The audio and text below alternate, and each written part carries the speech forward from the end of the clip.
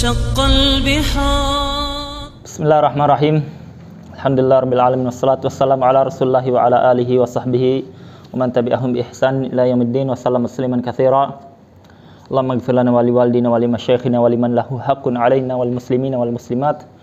Allahumma hdina lima ikhtalifa fihi minal haqqi bi idnika innaka tahdi man tasha ila siratin mustaqim.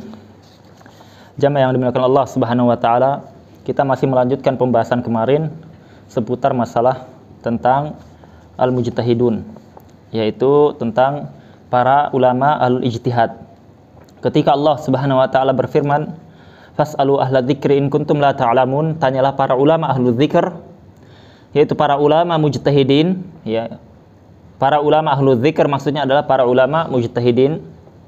In kuntum la ta'lamun, kalau kalian tidak mengetahui. Para ulama ahli usul fikih menerangkan bahwasanya kullama wujida adamul ilmi wajib su'alu. Yaitu setiap kali ada atau ditemukannya tidak ada ilmu yaitu kita tidak punya ilmu kita misalkan mau sholat tidak tahu ilmunya kita mau zakat tidak ada ilmunya kita mau nikah tidak ada ilmunya kita mau jual beli tidak punya ilmunya maka wajib su'alu. Wajib bertanya dengan siapa? Dengan para ulama ahlu zikr. Ahlu zikr yang dimaksud adalah ulama mujtahidin yang itu disebutkan oleh al-imam an-nawawi rahimahullah ta'ala dan disepakati para ulama. Jadi kita diperintahkan untuk bertanya kepada kalangan uh, dari para ulama kaum mujtahidin, tidak diperintahkan untuk bertanya selain mereka. Maka di sini kita ada pembahasan penting. Pembahasan yang pertama adalah apakah di zaman kita ada mujtahidun atau tidak ada? Pembahasan yang pertama, apakah di zaman kita itu masih ada mujtahidin atau sudah tidak ada?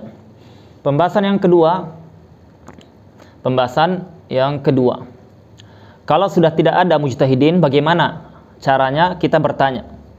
Ya, bagaimana caranya kita bertanya? Boleh kita tidak boleh tidak kita bertanya kepada selain mujtahidin atau tidak? Pembahasan yang kedua. Ya.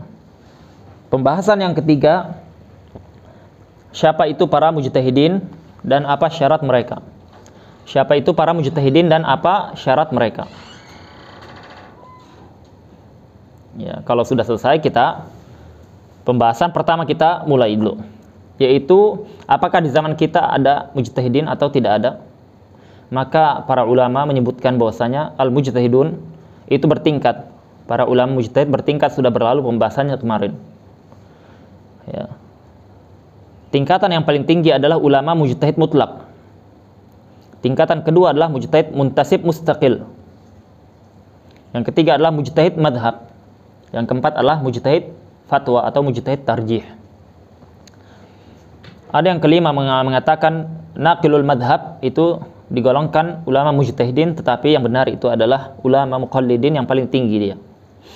Jadi empat pembagian yang pertama mujtahid mutlak Mujtahid mutlak ini sudah tidak ada. Mujtahid mutlak sudah tidak ada. Waqad inqarada ba'da asr setelah zamannya Al-Imam At-Tabari. Ya. Beliau di termasuk akhir dari golongan mujtahidin.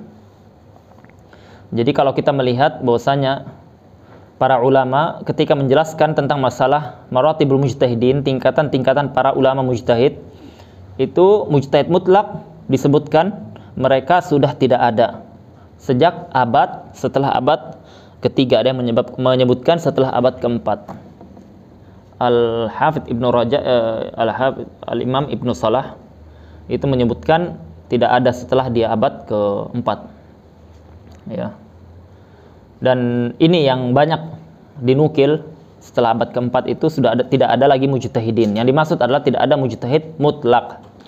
Ya.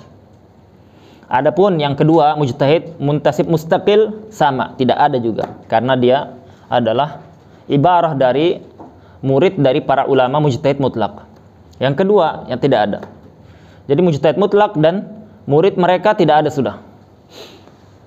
Yang ketiga adalah atau dikenal dengan mujtahid uh, ya mujtahid muntasib mustaqil itu seperti Imam Al-Muzani, Imam Al-Buaiti dalam madhab Syafi'i ya, atau Imam Ahmad dalam madhab Syafi'i.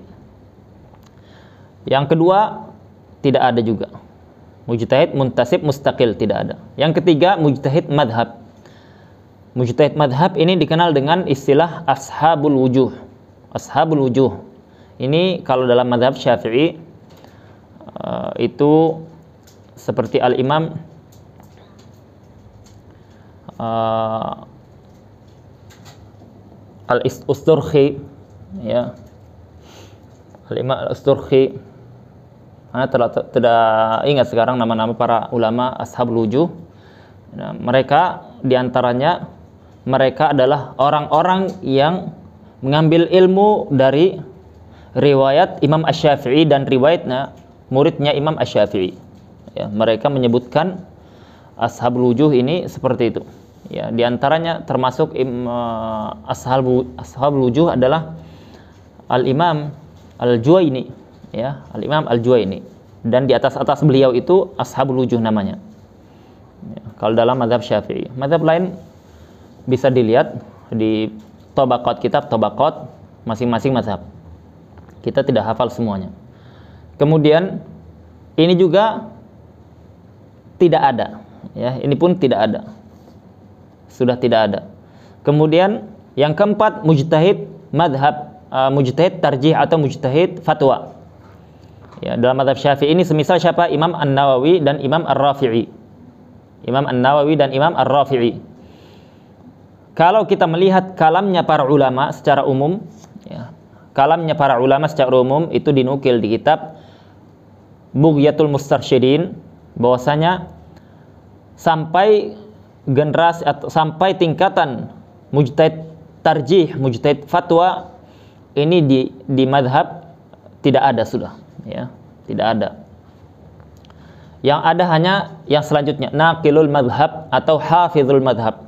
Naqilul madhab atau hafizul madhab. Ya.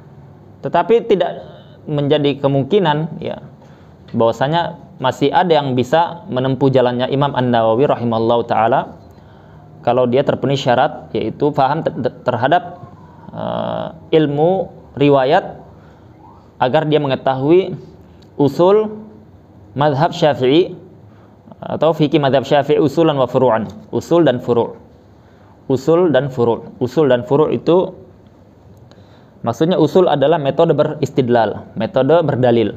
Kalau furu' adalah hukum dari uh, hasil metode berdalil tadi. Metode berdalil tadi menghasilkan turunan hukum. Nah, turunan hukum ini dikenal dengan furu' fikih. Dikenal dengan furu' fikhiyah. Cabang fikih. Jadi kalau kita melihat secara umum itu memang sangat sulit ya, sangat sulit kalau dikatakan tidak ada atau minimalnya sangat sulit ditemukan. Oleh karenanya Al Imam Ibnu uh, Imam Ar-Ramli dengan Imam Al-Hafidh Ibnu uh, atau Imam Ibnu Hajar Al-Haytami itu tidak digolongkan mujtahid madhab. Waqila huma mujtahidan fi ba'dil masail. Dan ada pendapat lemah dalam madhab Syafi'i belakangan bahwasanya Imam Ar-Ramli dengan Imam Ibnu Hajar Al-Haytami keduanya adalah termasuk ulama mujtahid di sebagian masalah saja. Ya tapi ini pendapat lemah. Yang benar adalah keduanya masih muqallid tetapi tingkatan yang tinggi yaitu hafidul, hafidul madhab atau naqilul madhab.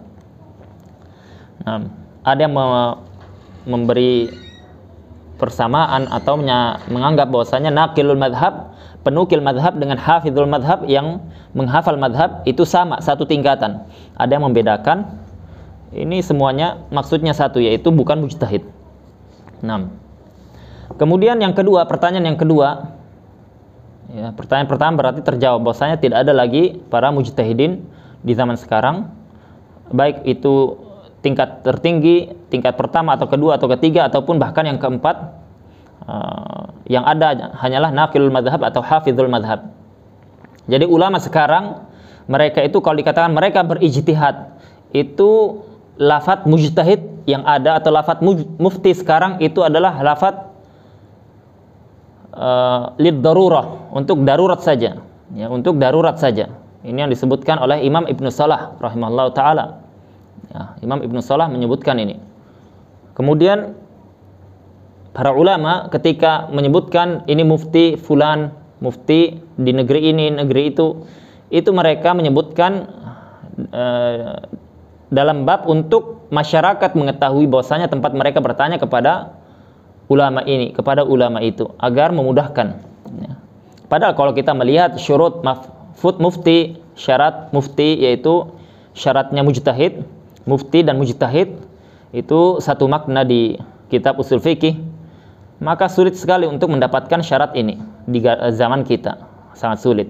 Oleh karenanya adalah jenah namanya, perkumpulan ulama dari ulama bahasa, ulama usul fikih, ulama usul hadis, ulama fikih dari berbagai madhab itu kumpul untuk merumuskan fatwa.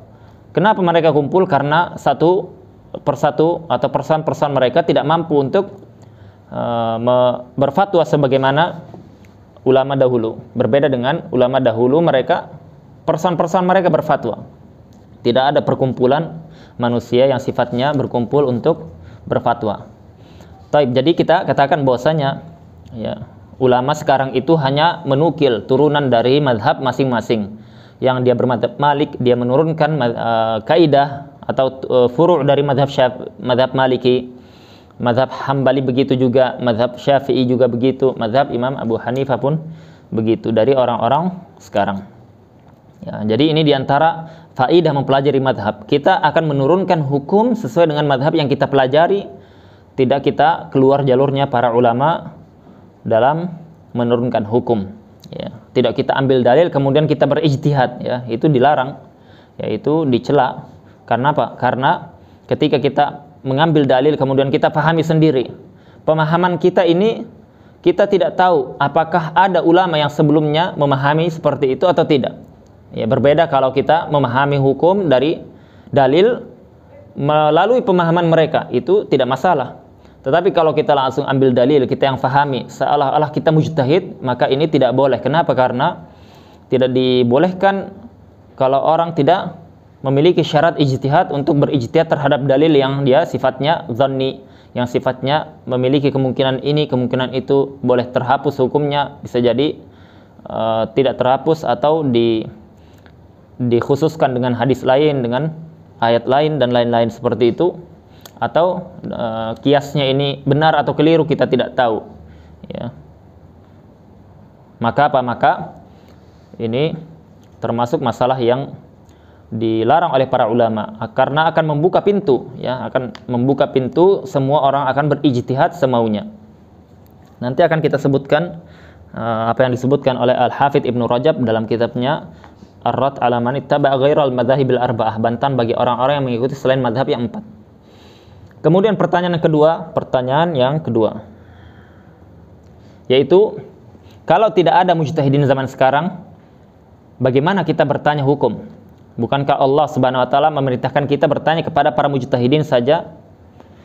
Maka kita jawab bahwasanya betul. Allah Subhanahu wa taala hanya memerintahkan kita bertanya kepada para mujtahidin saja. Tidak kepada yang lain. Ini harus difahami.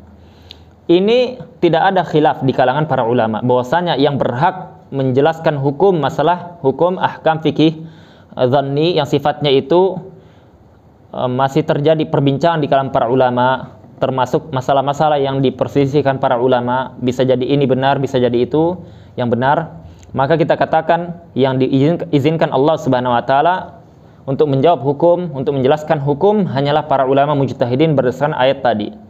Berdasarkan ayat tadi. Tetapi kalau kita melihat bahwasanya para ulama itu ada berselisih tentang satu masalah yaitu fatwa al-muqallidin, fatwa para ulama para ahlu taklid, para penuntut ilmu yang dia notabene termasuk ahlu taklid. Ya. Mereka bukan bukan mujtahid, tetapi mereka masih muqallid. Tapi sudah belajar, ya. Seperti yang kita sebutkan tadi, para ulama semisal Imam Ar-Ramli, semisal Imam Ibnu Hajar Al-Haytami dalam madhab Syafi'i. Mereka ini belum dinyatakan mujtahid. Ya. Belum dinyatakan mujtahid tetapi kalau kita lihat para ulama kenapa banyak menukil dari mereka? Ya, ulama Syafi'iyah sendiri banyak menukil dari mereka. Kita jawab bahwasanya itu ada pembahasan yaitu pembahasan apa hukum mengambil fatwa dari ahlu taklid yang menukil fatwanya mujtahidin. Yang menukil fatwanya mujtahidin. Yang pertama harus kita jelaskan.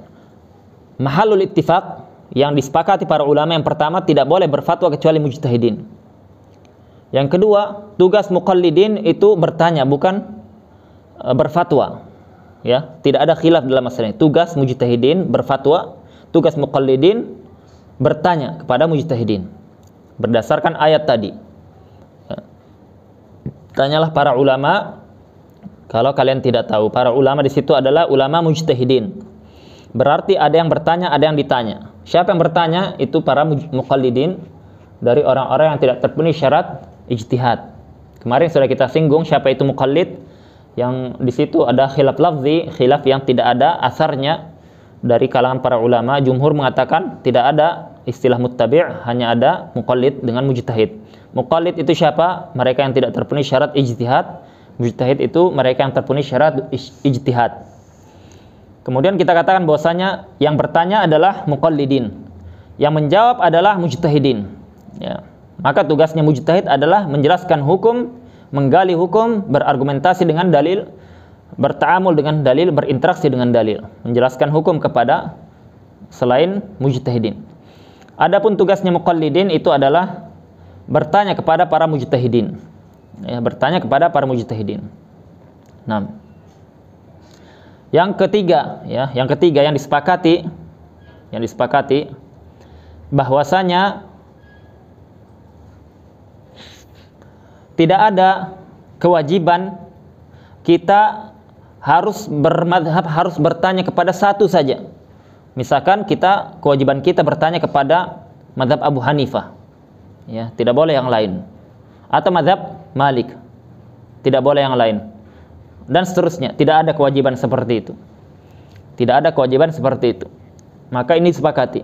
Allah Subhanahu wa taala memerintahkan kita yang belum mampu untuk memahami dalil untuk bertanya kepada para mujtahidin. Siapa yang ditanya? Siapa siapa, siapa saja yang mereka termasuk ulama mujtahidin yang akan kita sebutkan Eh, syarat-syarat mereka. Ya, itu pembahasan yang ketiga disepakati. Ya, difahami ini baik-baik. Ketika kita bermadhab syafi'i, kita tidak melazimkan orang-orang harus bermadhab syafi'i, tidak. Anda mau bermadhab selain syafi'i, silahkan tafadhal. Itu hak Anda. Ya, tetapi para ulama menyebutkan bahwasanya kita hendaknya belajar fikih dengan melalui jalur madhab, ya, dengan melalui jalur madhab, dengan uh, apa yang dilakukan para ulama mereka menjalankan atau mempelajari madhab yang tersebar di negerinya ya. Dan ini sudah maklum diketahui bersama sampai saat ini berjalan dengan uh, normal ya. Yaitu semuanya masing-masing bermadhab dengan madhab yang tersebar di negeri masing-masing. Nah ini yang disebutkan oleh para ulama mu'asirin disebutkan oleh Syekh Saleh Fauzan dan lain-lain. Jadi kita katakan bahwasanya Eh, masalah-masalah yang kita sebutkan tiga pembahasan itu disepakati para ulama.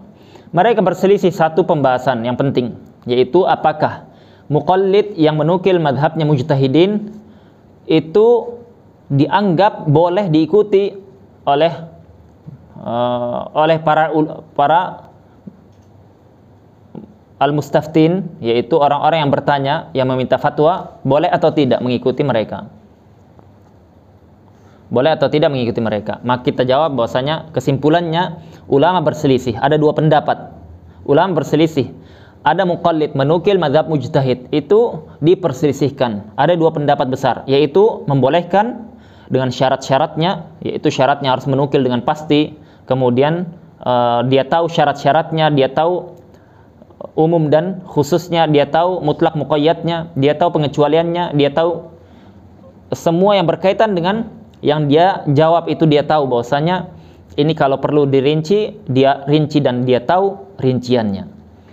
Maka apa? Maka secara umum itu yang membolehkan memberikan syarat. Tidak boleh secara mutlak. Adapun yang melarang melarang secara mutlak. Jadi dua pendapat besar. Ya dua pendapat besar.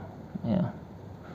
kemudian yang membolehkan yang bersyarat tadi mereka nanti berselisih. Mereka boleh tidak ya ulamanya berselisih boleh tidak mukallid yang seperti ini melakukan kias yaitu masalah yang semisal Ya, masalah yang semisal dikiaskan dengan masalah yang sudah dijelaskan di madhab. Ya, masalah semisal ini belum ada disinggung di madhab, tetapi dia kiaskan dengan yang semisal masalah tersebut di madhabnya. Boleh tidak dia kiaskan? Ini para ulama berselisih. Ya, ada yang melarang secara mutlak, ada yang membolehkan dengan aturan main. Maka persisiannya kuat. Yang membolehkan saja ini memiliki syarat yang ketat. Tidak asal boleh begitu saja tidak. Dari sini dari sini kita tahu bahwasanya bayangkan orang yang dia bermadhab kemudian dia pelajari madhabnya kemudian dia belum sampai derajat uh, mujtahid di madhabnya dia hanya boleh menukil. Itu pun menukil diperselisihkan boleh atau tidak. Ya itu pun dia menukil sekedar menukil ya, bukan dia yang beristidlal bukan dia menjelaskan hukum dari dirinya bukan. Dari nukilan saja para ulama mujtahid dari madhabnya.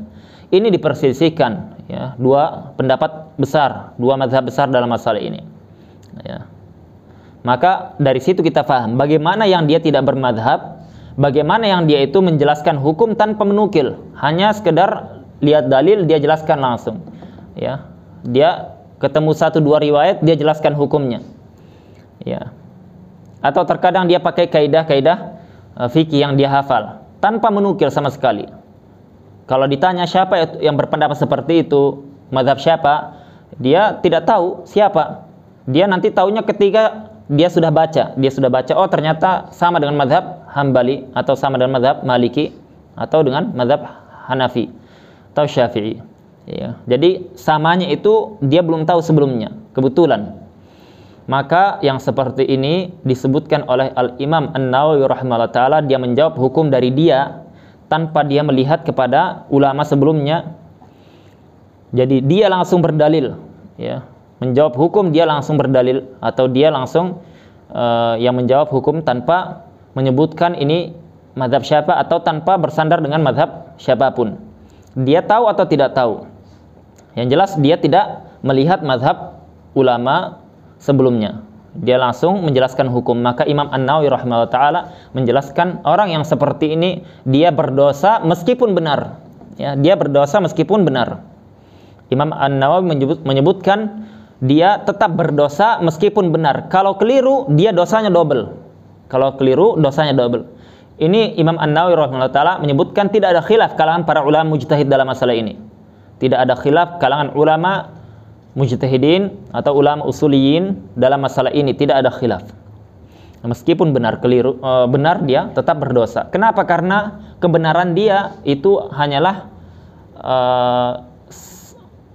ittifaqiyah atau kebetulan. Ya, kebetulan. Jadi bukan didasari atas ilmu yang mereka yang dia itu memang betul-betul terpenuhi syaratnya. Imam Nawawi sebutkan ini ketika menyebut, menyebutkan syarah hadis idza jitahadal hakim ya fahakama wa asaba falahu ajran. Ada seorang mujtahid hakim yang dia menyebutkan hukum berdalil tentang masalah hukum dengan dalil-dalil yang ada kemudian dia berhukum dengannya. Maka dia benar dapat dua pahala pahala benarnya dan pahala ijtihadnya. Kalau dia keliru falahu ajran. Kalau keliru falahu ajr wahid. Kalau dia keliru maka dia dapat satu pahala yaitu pahala dia ijtihad. Adapun kekeliruannya maghfurun indallah. Dia ampuni Allah Subhanahu wa taala karena dia ahlan, karena dia ahli dalam ijtihad.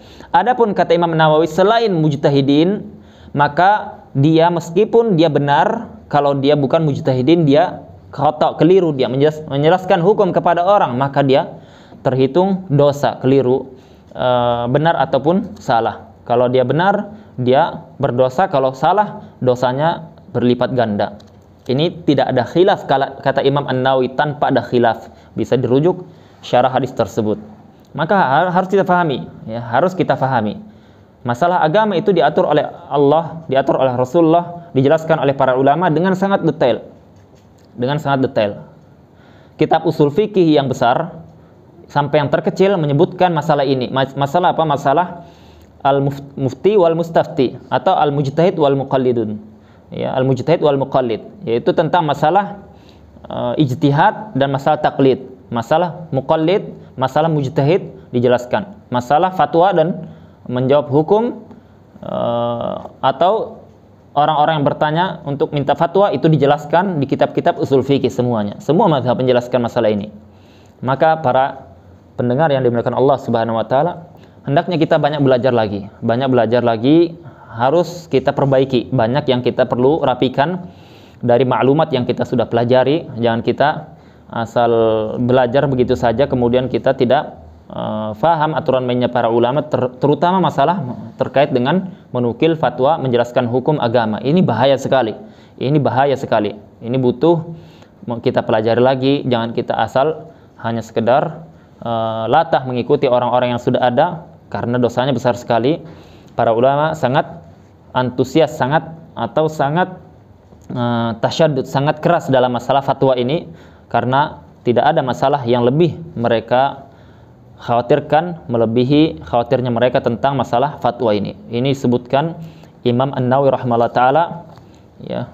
Uh, beliau menyebutkan pembahasan khusus yaitu tentang masalah ini ya beliau beri uh, judul Adabul Mufti wal Mustafti ya kemudian Imam Ibnu Salah sebelumnya kemudian Ibnu Qayyim dalam I'lamul Muwaqqi'in dan lain-lain Ibnu Badran, Ibnu Hamdan dan lain-lain.